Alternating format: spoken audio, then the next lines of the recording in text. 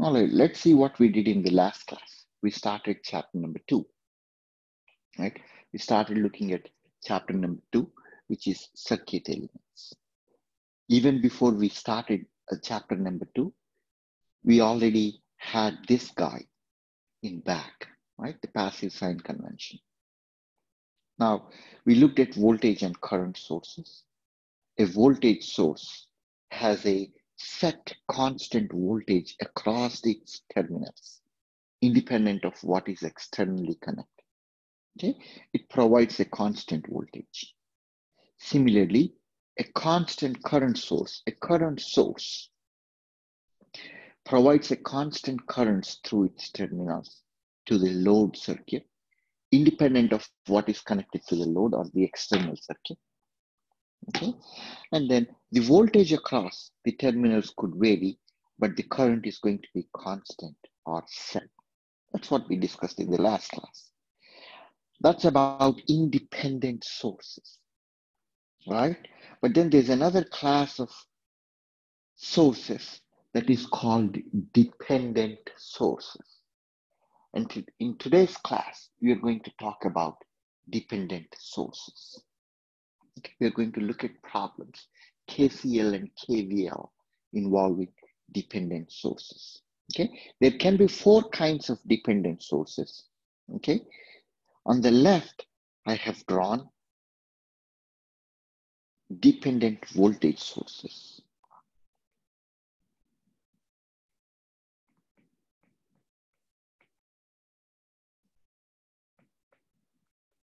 Because you see the symbol plus and minus, that signifies a voltage source. So clearly the one on the top and the one on the bottom are voltage sources. It, it provides a constant voltage that is dependent on some input variable.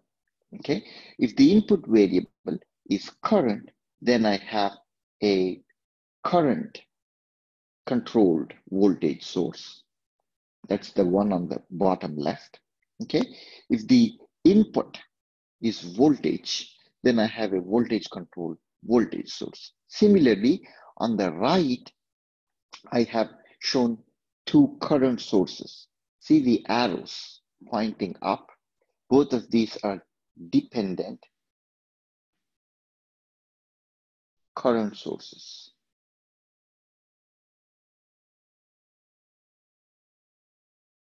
Because in both of these cases, the output is current. The output shown as green highlight, that's current. Okay, when the output is current, we call this a current source. And the current is dependent on some variable. If the variable is voltage, we call it a voltage controlled current source. If it is current, we call it a current controlled current source. Okay, please bear with me for the moment. If uh, you're, uh, if you, it becomes much more clear when we look at some problems. Okay, so we looked at independent sources and dependent sources. Okay, independent sources and dependent sources. Then we moved on to talking about Ohm's law, which simply says V is I times R. Okay, when I say Ohm's law, this should come to your mind. V is I I R or any other manifestation of this relationship. I is V over R or R is V over I. Okay, so on and so forth. This is what should, um, this is the image that should conjure up in your mind. A resistor, the voltage across its terminals is V. The current flowing through the resistance is I, and the resistance is R. Okay. Now we went on to talking about power. Okay. Power is V times I. If the power is positive, we call it absorbing. If the power is negative, we call it delivering. Okay. The power can manifest in one of three forms. Power across a resistance can be uh, V squared times R or I squared times R or it could also be V times I. There are three manifestations of power across a resistance. If you know the voltage across a resistance and current through the resistance, then you simply take the product of these two to get the power. Okay, you can also express the power in terms of purely the voltage, V squared over R, or purely the current through the resistor, I squared over. Okay. Then we talked about Kirchhoff's laws or Kirchhoff's laws, two more tools added to your tool set, right? The two tools are Kirchhoff's current law and Kirchhoff's voltage law. We started with Kirchhoff's current law, which says if you add, if you look at a node, so Kirchhoff's current law always pertains to currents at a node.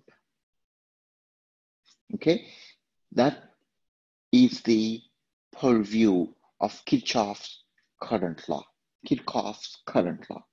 Okay, in the last class, when I show when I was showing you the Kirchhoff's current law, I forgot to add I6. So that's a correction you want to add. Okay, and the notes are going to be updated with the correction. Okay, but uh, the idea is the sum of all the currents at a node is zero. Conservation of charge. Okay, there is no current at a node. Okay, there is no current at a node. Okay, and in order to solve that, how do you apply it? Well, I showed two techniques for you. Okay, both are essentially the same. These two techniques, even though they appear different, they're essentially the same. The first technique in applying KCL is to consider all the currents coming in as negative and all the currents going out as positive. At a node, all the currents coming in are considered as negative and all the currents going out are considered as positive. Okay, that's just one technique. Okay, another technique that I prefer is to look at all the currents coming in, add them to one side of the equation, look at all the currents going out, leave them, or add them on the other side of the equation, equate the two sides, then you don't have to worry about sign anymore. It's just the magnitude. So the idea is the sum of currents coming in is equals to the sum of currents going out. That will automatically take care of, that will automatically take care of the sign. Okay, so we looked at KCL, Kirchhoff's current law, Kirchhoff's current law. Then we also looked at Kirchhoff's voltage law, which pertains to voltages dropped around a closed path. Okay, around a closed path. What is the idea of a closed path? You begin at a node, you traverse a path, come back and end at the same node. That's the idea of a path, closed path. Okay, Kirchhoff's voltage law has to do, it pertains to paths, closed paths. Okay, and here I identified two paths. And then the convention is to start at the lower left corner, follow a path in a clockwise direction until you end up at the same node again. Okay, that's what we did. That's what we did in the last class. Okay, and then we looked at some problems. We looked at two problems. The first problem had a bunch of resistors. We were asked to find I1, I2, I3, I4, and IS, given that I0 was 2 amperes. Then what we did was to set up KCL and then uh, move on to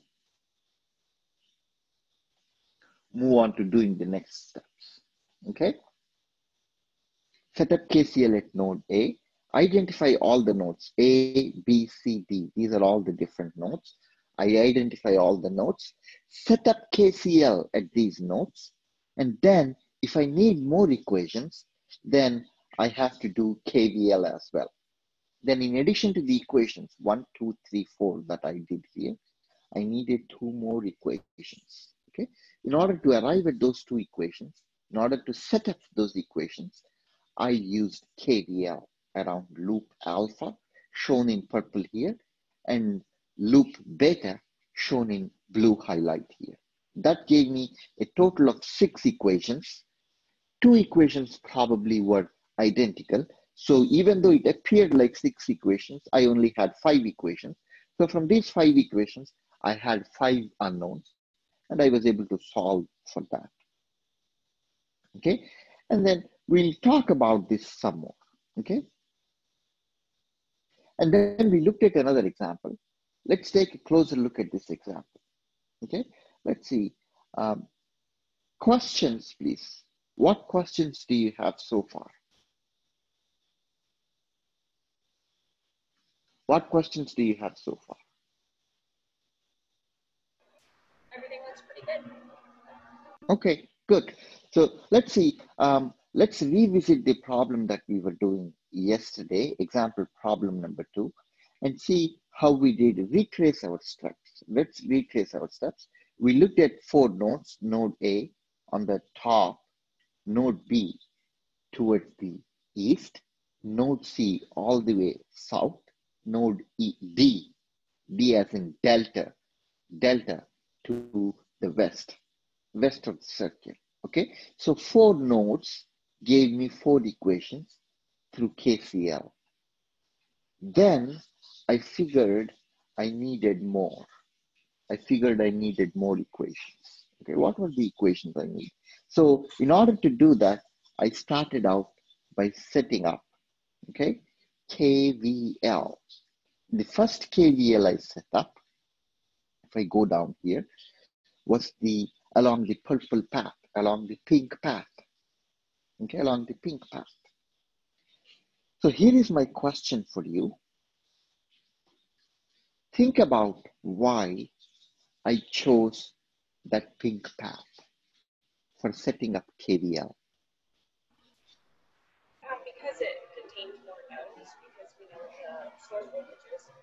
Can you say that again? Your voice is not 100% um, audible. Sorry about that. Um, because it contains more knowns. Uh, it contains the source voltage, so it's easier to solve for. And also, we sure. know what the current one is. Correct. Thank you. I think you got it right. If you look at this node and forget just about everything else, just look at the purple path that I have shown here and retrace the path. Well, I'm looking at the voltages along the path. I know this. That's a known voltage. Similarly, that's the first part. The next element is this guy. Okay. The voltage across that guy is 90 volts given. I know that. Then the next part in the path is this guy. That's the unknown. So if you think about it, it makes sense to choose this overall big path because along the path, there are more knowns and only one unknown. Okay, so when I set up the equation by writing, sorry about that, by writing the KVL, I begin at the lower left node, okay, following a clockwise path, okay. When I set up the equation, the first voltage that I encountered is negative 240 volts. So sure enough, at the very bottom of the page, I showed that negative 240 volts plus the next element is 90 volts, the 22.5 ohms resistance. So that's a known. And then the next path, the next element in the path is the 15 ohm resistance, which is through I2. So it turns out when I set up the equation, what I found out was that it seems I2 is the only unknown. And it's very convenient for me because I2 is the only unknown, everything else is known. The value of I2 falls out. Okay, so that's a convenient technique I use to pick that path. Okay, if I pick, in other words, if I picked this path instead, okay, let's use a different color. Let's use, uh, I don't know, the green color. Okay, if I used this path instead, then I would end up writing an equation in I3 times 20 ohms, that's negative, plus I4 times 5, plus I2 times 15. So there are three unknowns, I3, I4, and I2. And that's not to my taste. That's distasteful. Uh, I cannot, it's, it only adds to the clutter. Okay, so when setting up KVL, I chose the path in such a manner as to make things easy for me. Okay, once I know I2, okay, I know I2, this guy, and I know the current coming in I1, 4 amperes, because the voltage across that is given to be 90 volts. So I know I1 and I2. Then at node B, using KCL at node B, or in other words, the equation that we already set up. Okay, I already set up the equation for node B. I2 is I1 plus I4. I2 is known, I1 is known. So it's a matter of algebra to find out the value of I4. So what I'm doing is I'm not only setting up equations, I'm not doing equations in a blind manner, but I'm trying to simplify and reduce the number of unknowns at each step. Okay, so now I know the value of I1, I2, and I4. Then it makes sense to set up a KVL in this manner so that I1, I4, and I5 are in an equation, but then I know I1 and I4 already. And that's exactly the reason why I set up a KVL around loop beta, the green loop. Okay, so if you think about it, there is four times negative I5 plus 90 volts. That's already given across the 22.5 ohm resistance on the right. And in the middle, there is a 5 ohm resistance, negative 5 times I4. I4 value is already known. So the idea is using the known values, I should be able to find out unknowns. Okay, and I choose KVL in a very judicious, carefully chosen manner. Okay, that are my decision to pick the loops for KVL are informed by what simplifies my subject. Make sense? Let's see if we can solve the problem. Let's see if we can do an example problem. What I want you to do is I want you to take this, um, take a few minutes to solve part I, part one of this simple circuit. Okay, it's not a complicated circuit. We deal, we dealt with a bit more um, intricate circuit yesterday. Now, for practice, I want you to work on a simple circuit. Take about five minutes to see if you can find the value for I naught in this circuit. Okay. All right. Let's see. Uh, any volunteers? Any answers? The value for I naught?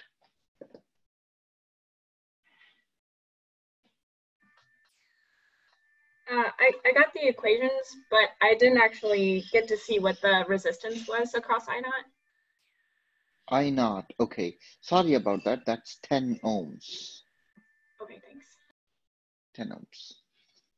Okay. So that's good. Uh, what we can do is um, we can go ahead and uh, take your help in getting us started with the equations. Okay. That way um, it's not just me talking all the way, all along. Okay, let's look at two nodes here. The first thing I'm going to do is to define the nodes, two nodes, A and B. Okay, and then, uh, so maybe you can help me get started with the equations. Sure, I actually don't see the screen right now. You don't? Oh, yeah. Sorry.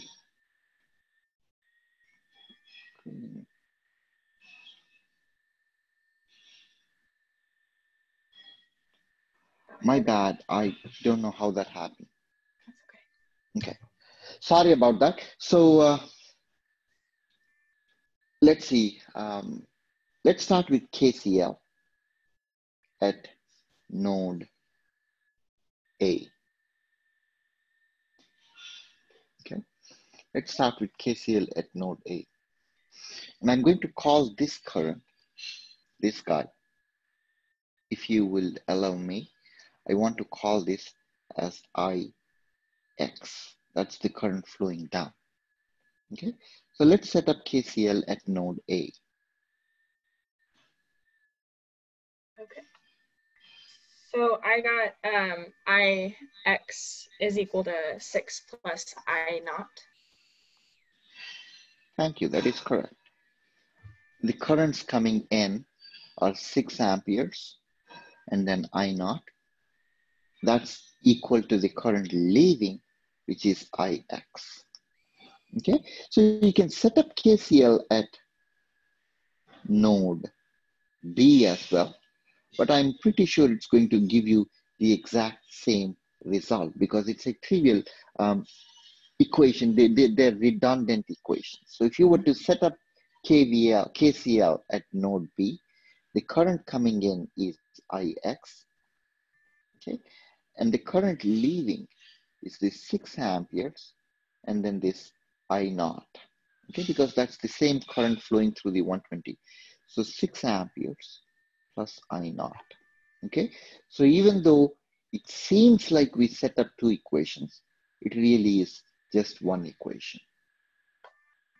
Okay, then how do we how do we set up the KVL then? So that's all the nodes we have. Okay, so now we have to think about setting up KVL. Okay. So I set alpha to be the clockwise loop on the left. Like so? And uh, what I what I got for that is uh, negative 120 uh, plus. Just give me one second. Okay. Okay. So KVL, you're fast. I'm not as fast as you are. So give me a second to catch up with you. KVL around loop alpha. Okay, so this is loop alpha. And I'm going to begin at the lower left corner and follow a clockwise path. All right, all caught up. Okay. Um, so negative 120, uh, then that's going to be plus 10 I naught, and then that's going to be uh, plus 50 IX is equal to zero. All of that equals to zero. So now I have two equations. IX equals to 6 plus I naught is one equation. Okay, the second equation is coming from the fact that um, 10 I naught plus 50 Ix equals to 120. Okay, I could even solve this by using observations. I can cancel the factor of 10. So I naught plus 5 Ix equals to 12. And then I can make substitutions here and find the value, okay? Find the values of I naught to be negative 3 amperes. Mm-hmm. Okay, I naught is negative 3 amperes and Ix is 3 amperes. Okay, that's the current flowing in the the uh, 50 ohm resistance. Okay, so I assumed I naught to be going from left to right, but the answer led me to a solution a value of I naught to be negative 3 amperes. So it means the current is flowing in the opposite direction to what I initially assumed. But I don't have to make any changes. I can just leave it like so and then um, signify the fact that I naught is negative 3 amperes, meaning that uh, it's actually flowing in the opposite direction. Okay, and then the textbook, it's an example problem in the textbook. The textbook asks you to verify if your answer is correct or not. Okay, by calculating the power in each of these. So what you would do is you look at the power in this resistance, V or I squared. Okay, let's see, I squared R in the resistance 10 ohm, and then I squared R that's the power dissipated in the 50 ohm resistance. Okay, and you have the value of Ix squared, and you have the value of I naught squared. So the power dissipated in these two resistances you should also look at the power in this guy, which is going to be 120 volts, V times I, negative 3 amperes. So you can do the math and you can also look at the voltage across these two terminals and then multiply that by um, multiply that by the current. Okay, so the idea is the total power that is delivered will be equals to the will be equal to the power that is absorbed by the voltage source and then the power that is dissipated in each of these resistances. Okay, so that's the idea. You can verify that your answer is correct by looking at the total power dissipated and the total power absorbed. Okay, and put total power delivered. Okay, that's a simple problem. Let's see if we can do one more problem. Let's see if we can do this problem. Okay, the idea is given I naught to be two amperes, I naught is this guy. Okay, the current on the extreme right. Okay, 20 ohm resistance. The current in the 20 ohm resistance is given to be that current I naught is given to be two amperes and we are supposed to find I1. That's the current in the middle branch, the branch in the middle. Okay, so this is what I will tell you before we actually begin the circuit. Or why don't I solve this problem for us? Okay, rather than having you solve this problem, I want to walk through this problem. Okay, let's walk through this problem solution.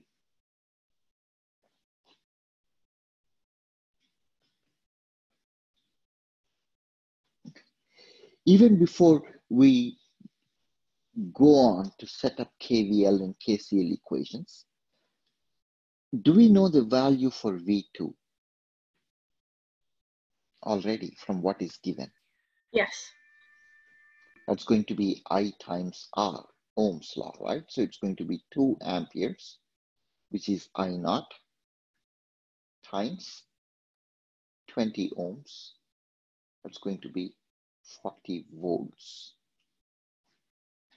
Okay, so V2, the voltage across the 20 ohm resistance is 40 volts. Okay, so here is the argument I'm going to make. Okay, if you look at this resistance, look at the resistance on the top branch. What's the voltage on the right terminal of that guy? Well, that's the same voltage as this guy, right? So the voltage at this terminal of a resistance is the same as this voltage, which I just found out to be 40 volts, right? This is the voltage across this guy is 40 volts, right? So this is the voltage at that node is 40 volts.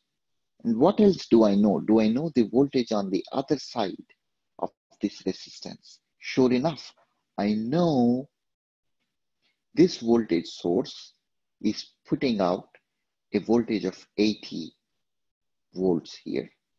So this guy is 80 volts. This guy is 40 volts. So I know the voltage across this resistance. So the voltage across the 8 ohms resistance, V8 ohms. So that's plus minus V 8 ohms, the voltage across that is the voltage on the left minus the voltage on the right. That's 40 volts. Everybody with me? Yes. Now, because I know the voltage across the resistance, I should be able to calculate the current I2, okay, which is simply V 8 ohms over R, which is 40 volts by um, 40 volts by 8 ohms. So it's going to be 5 amperes. So my effort has been to look at the circuit just by observation and see if I can solve for some of the unknowns, even without having to take a deep dive into the equations. Okay? What else? What else can I do here? Okay, so it turns out, so this is, excuse me, sorry about that. So now it turns out that I know the value of the current coming into this branch, I2. I know the current leaving this branch, I0. So it would make sense to look at this node. I don't know, let's call this node A. Okay, let's apply KCL at node A. I want to apply KCL at node A because I have a feeling that it's going to give out the value for one more unknown term. Okay, let's see if I can write the expression uh, for KCL at node A. So the currents coming in is I2 plus I3. That should equal the current going out, which is I naught. Everybody with me? So from this, I know the value of I naught to be 2 amperes. I know the value of I2 to be 5 amperes. So I should be able to, so this is known. This is known to be 5 amperes plus I3 equals to 2 amperes, which means I3 equals to negative 3 amperes. Okay, so here are some some results, intermediate results. Okay, so that's one result, I2. Here is another result, I3. Okay, there is uh, a V2 found out to be. So I know this current, I3 as well. Okay, I know the value for I3 as well. Now, what I'm going to do is to apply Ohm's law. So this is earlier what we did was applying Ohm's law. So I'm going to apply Ohm's law again.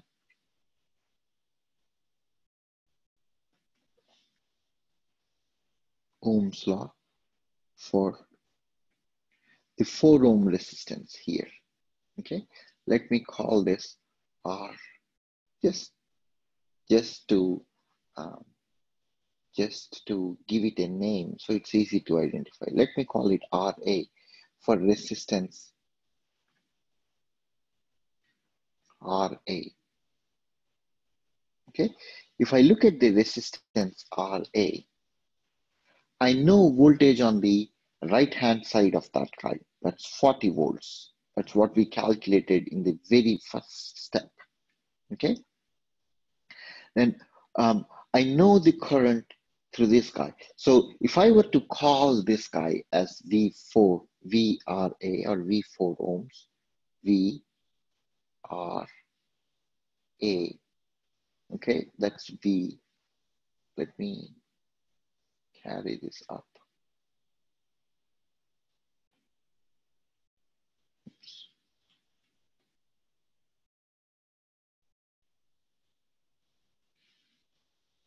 Just give me a second.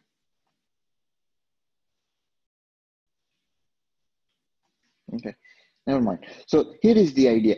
Um, let's call this node as VR. Just some arbitrary name. Okay, so VR minus 40 volts, that's the voltage across this guy, is going to be I3 times 4 ohms or RA, okay, RA, which is I3, I know the value of I3, negative 3 amperes. I know the value of RA, which is 4 ohms.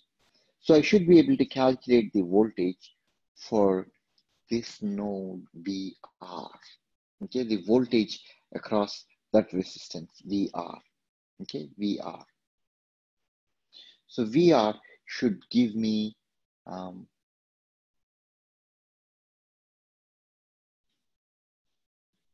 let's see. VR or, it's simply it's same as V1 right? That's the voltage across the resistance here. So this guy is V1.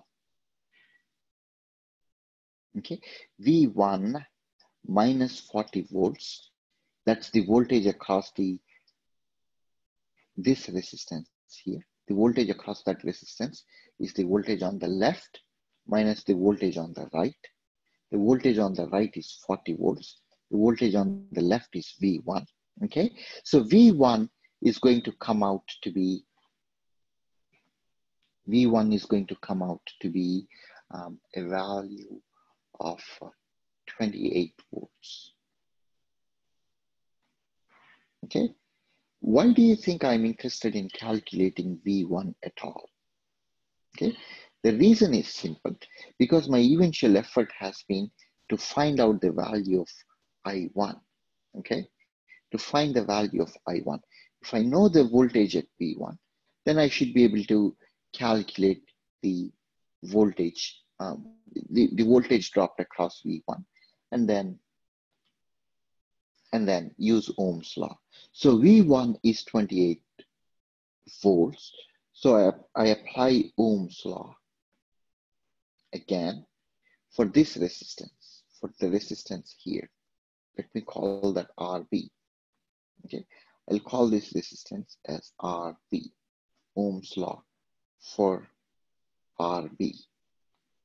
Ohm's law for RB tells me that the voltage across this guy is I times RB, okay, from which I should be able to calculate the value of I1. Okay, make sense? Yep. Okay, I used a I used a Ohm's law and KCL a bunch of different times. Okay, so I don't have to apply KVL. So this value I1 is going to come out to be um, 7 amperes. Okay, I1 is going to come out to be 7 amperes. So that's one part of the problem that you have been asked to find. Okay, I1 is 7 amperes. Now, the next part of the problem says, find the power dissipated in each resistance. So in other words, it's asking you to find the value of current through each of the resistances, okay? So I have to find I4 so that I can multiply I squared times 13. I find out I3, which I think I have a value for already, okay? I found out I1. I already found out I0 and then I found out I2. So if I can find out the value of I4, I know um, the currents flowing through all the resistances. Okay, I know the current flowing through I1. I know the current I2, I3, and I0. So it only remains to find the value of I4. Okay, let me see if I can copy this. Copy this guy. Add a page here. Okay, paste here. Okay, let's see. In order to find I4, okay, what I can do is to set up KCL at this node. Okay, if I can set up KCL at this node, okay, I have two currents leaving and one current entering. So KCL at node, let me call this A, or we already called this V1, right? V1, let's stick to that. KCL at node V1, okay?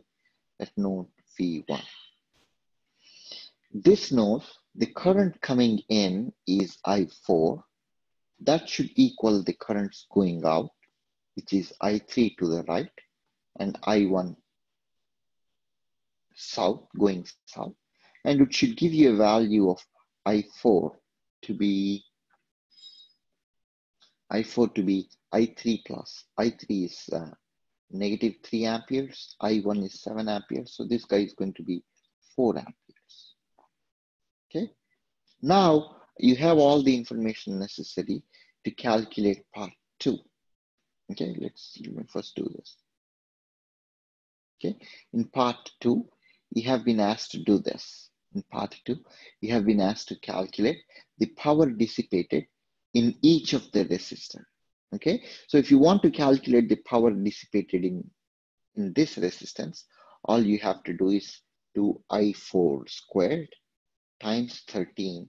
That will give you, that's I squared times R, right? It will give you I4 is, um, four, I4 is 4 amperes. So you can do the math. Similarly, if you want to find the current flowing through the 8 ohm resistance on the top, you simply have to do I2 squared times 8 ohms. Okay, and then that will give you the value for the power dissipated in the 8 ohm resistance. Okay, so on and so forth. Questions? So it's just a matter of doing the math at this point. I squared times R. Make sense? And when you add up all the powers that are dissipated in the resistances, that will exactly equal the current IG uh, or, or the power um, supplied by the 80 volts, 80 volts power supply. Okay, so that's the idea.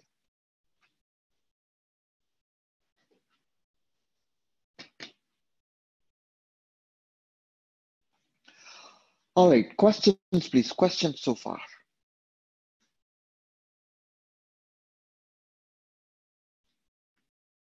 What questions do you have at this time?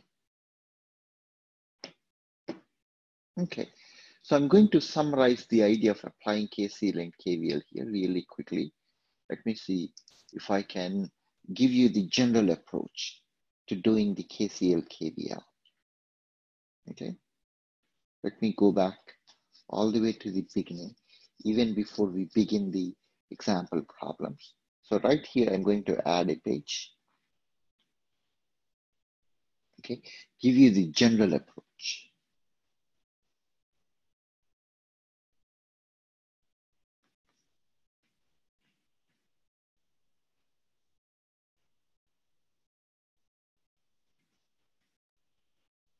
Okay, when we are applying KCL and KVL, what we typically do, and sometimes it, I may not have shown this explicitly, is to set up directions for voltage and current. Okay, we set up directions for voltage and current just like this. Okay, this is what we did. I assumed a positive and negative direction, and I defined a current flowing from left to right. That's an assumption I made, right? And I stick to that throughout the problem. So the first thing I want to do is to set up the directions for voltages and currents in one form. In a, it does not matter. I could have done the exact same thing. I could have done plus, minus, I4 okay?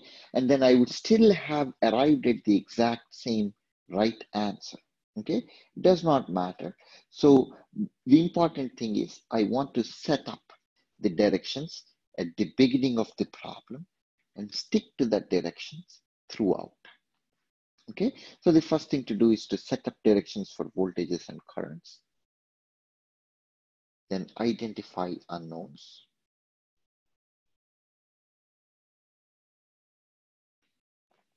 Okay.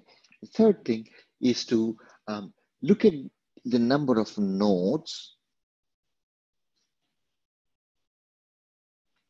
and see if you can set up KCL at the nodes. Okay, and then you carefully, judiciously, you judiciously set up KVL at relevant nodes. Okay, around loops, I'm sorry, KVL around loops. And you're not going to do this blindly.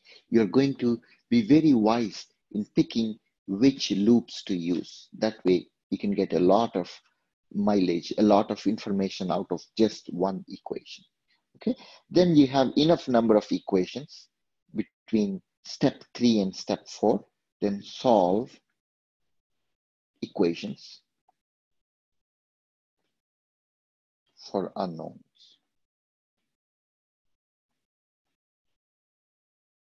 Okay, so that's the generic procedure that we apply to um, solve using KCL and KVL. Does that make sense? Yes. Okay, perfect. Thank you. And what I'm going to do is now move on to talking about KCL and KVL using indep using dependent sources. Okay, dependent sources. So we looked at enough examples. It appears we looked at four examples um, for KCL and KVL. So let's see if we can look at a couple of examples using dependent sources. Okay, in dependent sources, the process is still very, very similar, except that you have just one more um, equation that comes up from the dependent constraint. Okay, you have one more equation that comes out from the dependent constraint. Okay, I'll show you an example. Here is a, um, a circuit that involves a dependent source on the extreme right. I want you to look at that. Take a minute to look at that circuit and tell me um, if it is what kind of what kind of dependent source that is.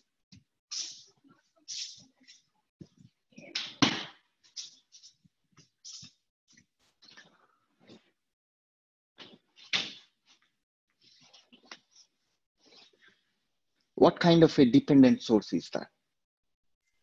It's a VCCS. It's a VCCS is one answer. Any other answers?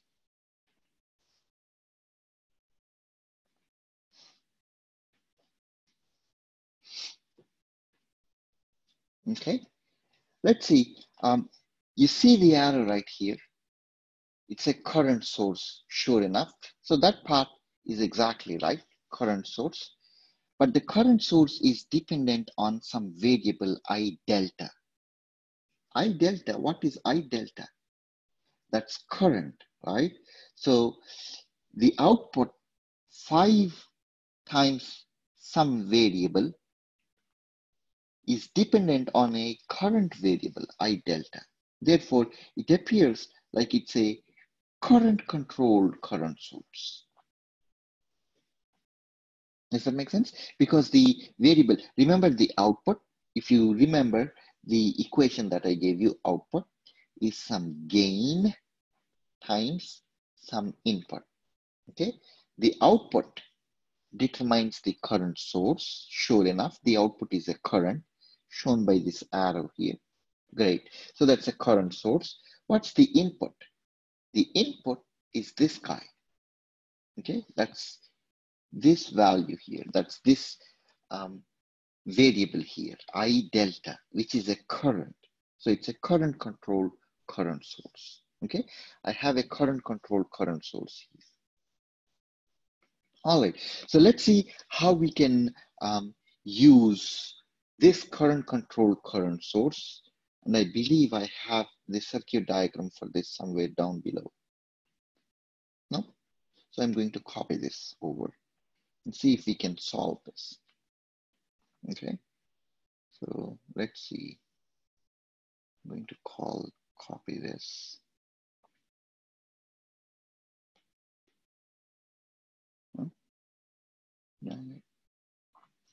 Okay. Let me try one more time. Copy that paste. Thank you. So here is the idea. The problem is to find all the unknown voltages and currents, okay, using a dependent source. Well, it's not too difficult. It's just that I have to apply an additional step, Okay, so first of all, um, the currents and the voltage directions are fortunately defined for me already in this problem. Okay, the current is defined I delta. This current is defined to be 5 I delta, and the current going down south is given to be I naught. So I have the um, voltages and currents. So problem is example. Example number five, using dependent sources. Okay, what I'm going to do is to set up KCL. Okay, step number one here is to set up KCL at node B. Okay, this follows the exact same procedure that we have been following so far at node B. Okay, what are the currents coming in? Well, there is one current coming in from the left, which is 5I delta, and there is one coming in from the right, 1I delta. So the currents coming in I delta plus 5I delta should equal the current going out, which is I naught. Okay, which is I naught. So 6I delta is I naught, is one equation I got. Okay, is equation one I got. Okay, then what I'm going to do is to set up, okay, is to set up a KCL, or KVL around this loop. Okay. Because that takes care of all the nodes I have. Okay. Then I can't get any more KCL equation. So the next step I'm going to do is to step number two is KVL around loop alpha. Okay, I'm going to call this as loop alpha. Okay, the process is to begin with the lower left corner and follow a, clockwise path and account for all the voltage drops in that loop. So the first thing I'm going to see is negative 500 volts. Okay, when I begin at the lower left corner, then there's a plus minus here. So plus 5 ohms times I delta, right? Plus VO times I naught. All of that should equal zero. Okay, KVL around loop alpha. Okay, so this gives me a second equation. Okay, this gives me an equation that appears like 500 equals to 5 i delta plus 5 i delta plus PO times I naught. Okay, so what I'm going to do is to. Um, Professor, I have a question. Yes. For the KVL around loop alpha, um, should it be um, the current times the resistance to get the voltage, not V naught times I naught? Sorry about that. Sorry, thank you. That's a that's a sharp observation. Thank you. Okay. Okay, that's good. It's 20 ohms times I naught. Okay, that's 20 times I naught. So I naught from the equation above, I'm going to replace with 6 I delta and get a value for I delta. So it's a matter of solving these two equations now. Okay, two equations and two unknowns, I naught and I delta. These are the two unknowns. Okay, now I naught is going to come out to be, I naught is going to come out to be 24 amperes. Okay, I delta is going to come out to be 4 amperes and the 5 I delta is going to be, that's going to be the current in the rightmost branch is going to be 20 amperes. Okay, so there's just one constraint equation, 5i delta. Okay, that's the only constraint equation that uh, takes into account the dependent current source. Okay, so the process is exactly the same. All I have done is just to use, instead of using a value for this current source, I use an expression. Okay, let's see if we can solve one more problem based on this. Questions? Questions, please. Looks good. Okay, perfect. Good, good, good. So let's see if we can do one more problem. KCL KVL, example problem number six. Okay, the question asks, find the value of I naught. Okay, find the value of I1. Okay, what's the value of I1 and what's the value of I2 in this problem? Okay, that's the um, I1. So I'm asked, supposed to find out the current here current there. Okay. Take a couple of minutes to think about how you would solve. And I'm going to, as a matter of fact, do this. I'm going to erase this part okay, because that's something I don't know yet. Okay, that's something I don't know yet. All I know is this guy is V delta, the current here, I, so let me write down I here, is V delta over 200. Now, first things first, so this is V delta. Okay. What kind of a dependent source is this guy? Okay, if you look at this, dependent source. What kind of a dependent source is that? Uh, this one should be VCCS this time, I think. It's a voltage controlled current source. Thank you, that's correct. Voltage controlled current source, right? It's a VCCS. Okay, now let's see, um, I'm going to give you a hint. Okay, the idea is that the current I naught you can assume that to be, you will not be wrong in doing so, to be zero volts. Okay, the reason is this current I that is shown to be coming in from this branch has no path um, backwards. Okay, so there's only a single path, so you can assume that the current going in has no way to come out.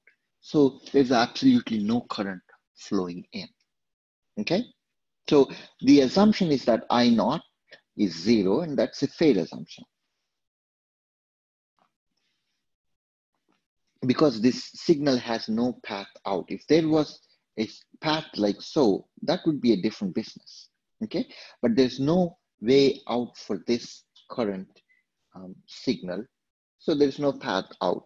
So there's no, there's no current flowing there, okay?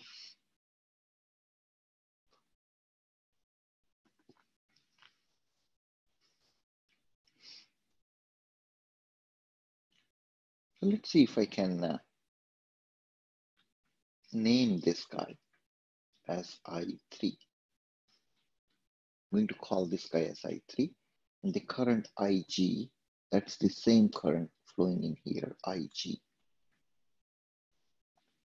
That's the same current flowing. So let's look at a bunch of nodes. Let's look at this node. Or, or let's say, let's identify the nodes first. There is one node over here. Okay. There's one node over here, B. So node A. Okay. So node A. Okay, and then there's node B. Node B over here. Okay, there are two nodes. So let's see if I can set up KCL at uh, each of these nodes. So solution.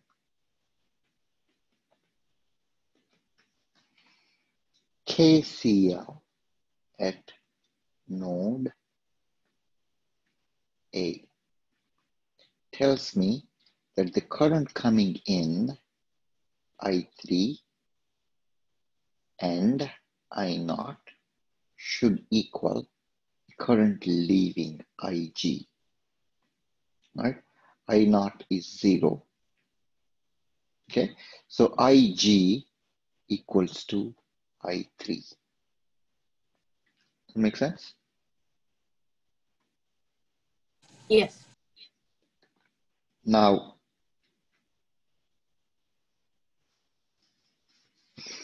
let's also write that step one. Let's do another step. Step number two is KCL at node B. This could be a little interesting. Okay, when I write the KCL at node B, the currents coming in, okay, is this guy was supposed to be I1, I2, and IX. Okay, so let me call this as IX. Okay. Okay, that's current IX. So sum of currents coming in IX plus I1 plus I2, that's going to be the sum of currents going out, which is I0, which is essentially zero.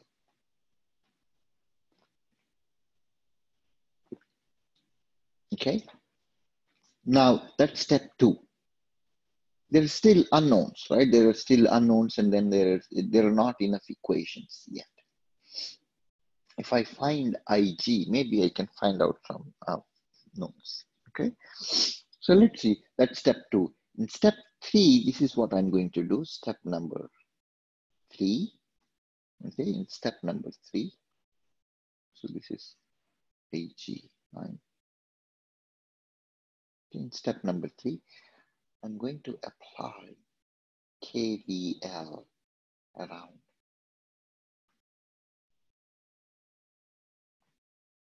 loop alpha, where alpha is this guy. Okay, let's see.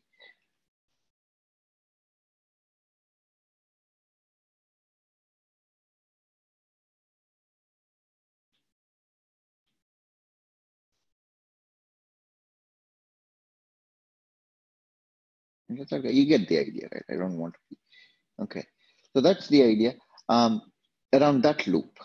Okay. So I begin at the lower left corner. Okay. And then take a um, clockwise path and add the voltage drops around this loop. So I begin here negative.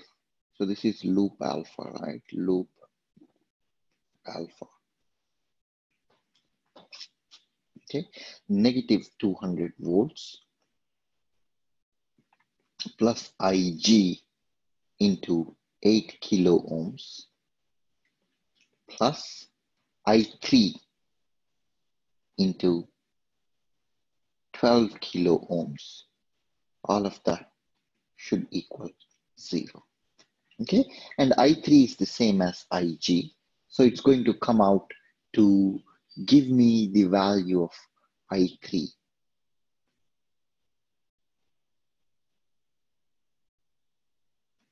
Okay, I3 to be 0 0.01 amperes or 10 milliamperes.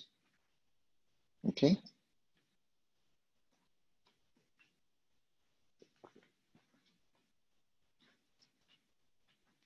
Questions, please.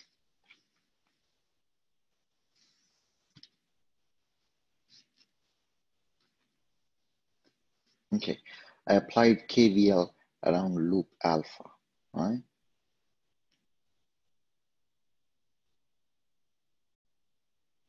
Which gave me a value for I3 equals to, so if I know the value of I3, What other information do I know now?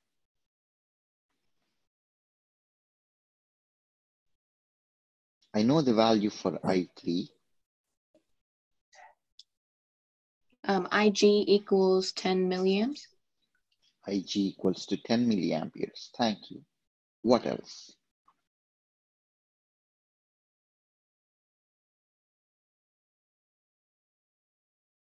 Do I know the value for V delta?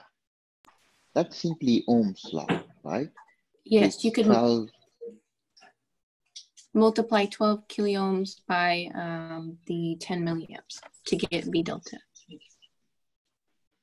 So V delta is going to be,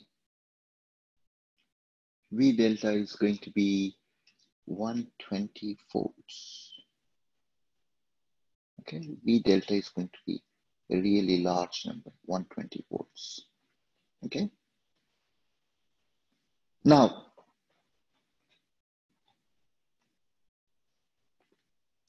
me do this. Let me add a page here.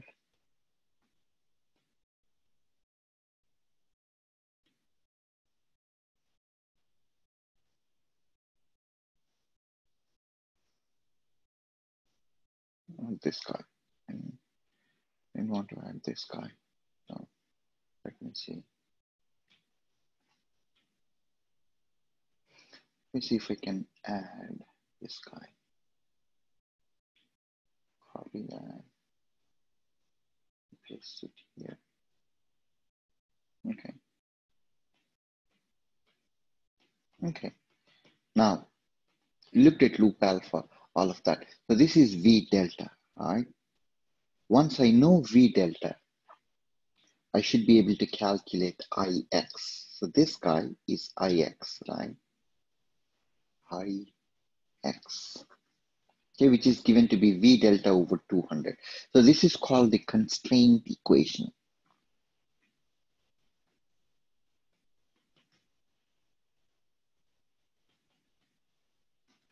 for dependent source.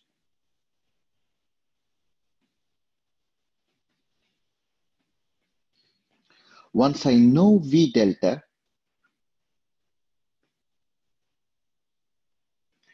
I should be able to calculate Ix. Ix is given to be V delta over 200. So constraint equation is really the equation that's given to you in the form of a dependent source. So which will come out to some value of 0.6 amperes. Okay, Ix comes out to be 6 amperes. Okay, now we still have two unknowns. We still have two unknowns. So what I'm going to do is to set up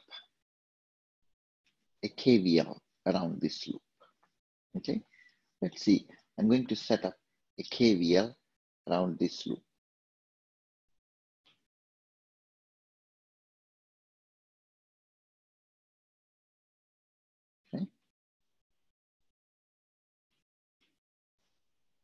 0 0.6 amperes. And then let me see if I can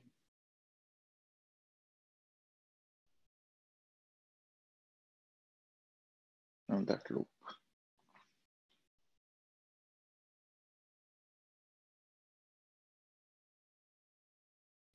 Okay, on that loop, let me call this loop beta.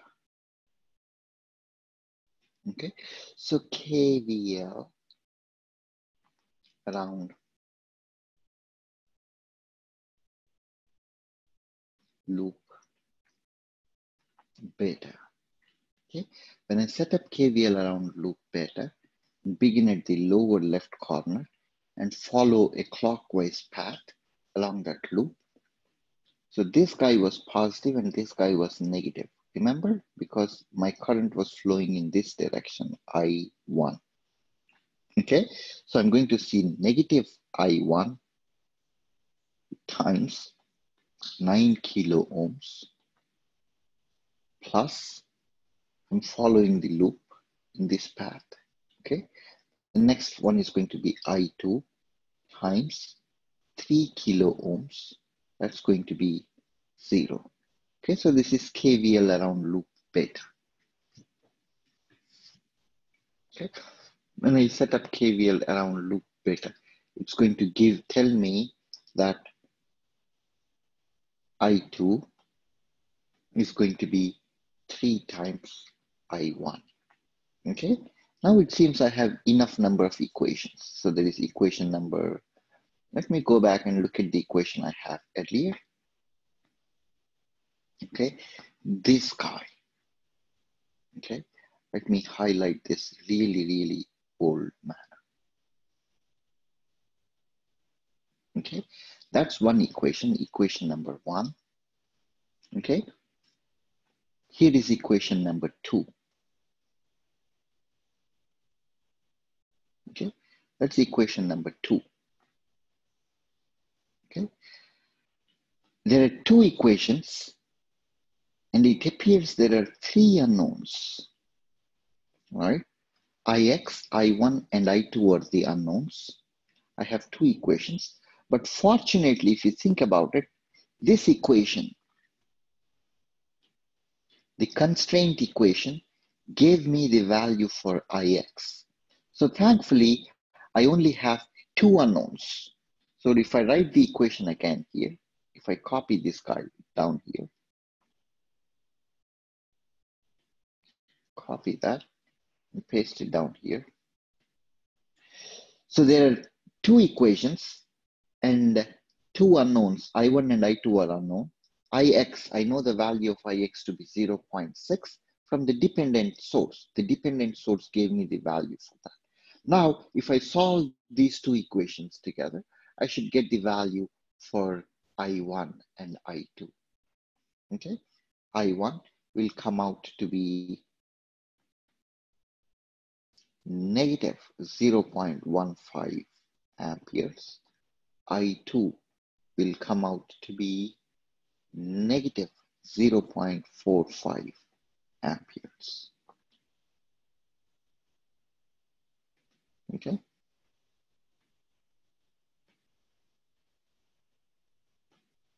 Questions, please.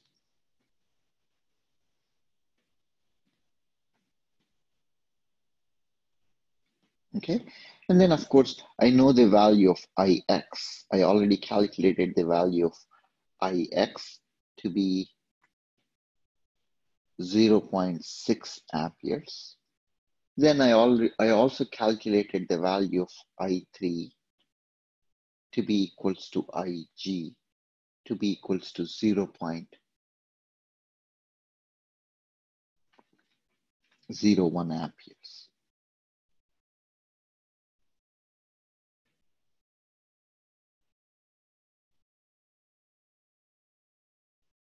Make sense? So yes. the only thing that appears to be different for this guy, the only thing that appears to be different for the dependent source problem is that you're given an extra variable and an extra equation, okay? That extra equation is given in the problem like so. Vx equals to V delta over 200. So in order to solve for this Ix, which is V delta over 200, you need to kind of look at the value for the V delta on the left-hand side. Okay? So that's just one extra step that we need to solve for a dependent source but the general procedure is still the same. The general procedure is still the same. And if you go back to look at the problem, the idea was to find the value for I1, I2, and I0. And sure enough, you found the value for I1, I2, and I0.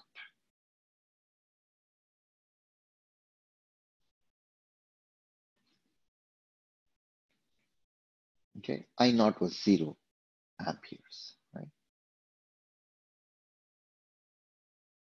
Questions, please. What questions do you have?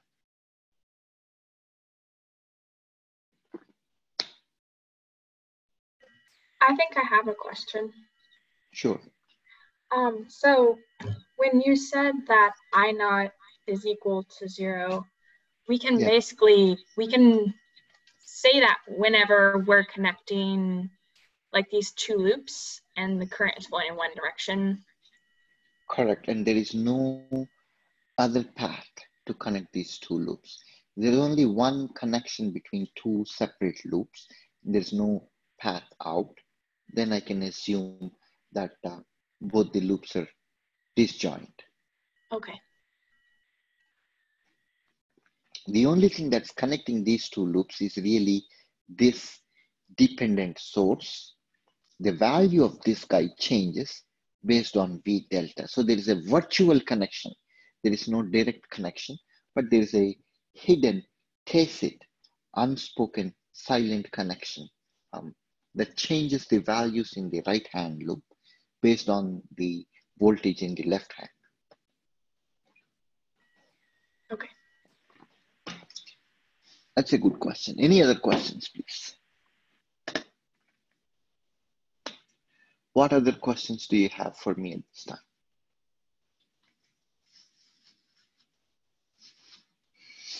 Okay, so what I'm going to do is to stop here and then I'll see you folks back on Monday.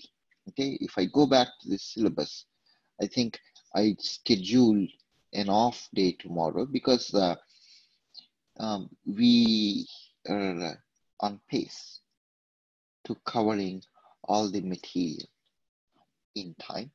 So I think it makes sense to take a day off tomorrow. I want you to work on the homework problems, homeworks. Let's see. Um, some of these homeworks are going to become available between uh, the day before yesterday and today. Homework two, KCL, KVL is going to become available today. It must have become available already. Homework one, if you did not already start working on it. So this is your um, uh, this is your time. Use tomorrow's class time to work on homeworks. Okay, and any practice problems that you want to look at. I'll see you folks back on Monday then. Thank you. Of course.